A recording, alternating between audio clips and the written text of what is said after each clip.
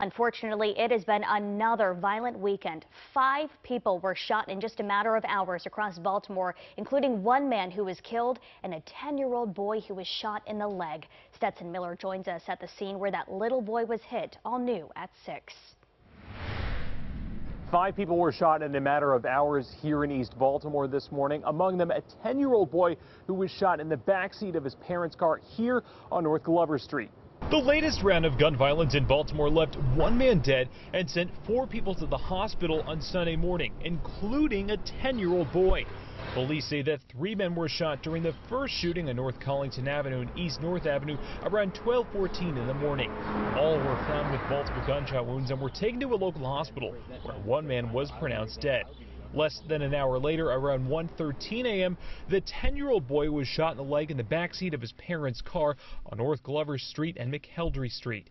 He was taken to a local hospital with a 32-year-old woman who was also shot. And Councilman Zeke Cohen said so many people are suffering because of shootings and trauma like this. That's why he's announced new efforts to try to help them heal amidst the persisting violence. We'll tell you more about it on WJZ at 11. In East Baltimore, Stetson Miller for WJZ.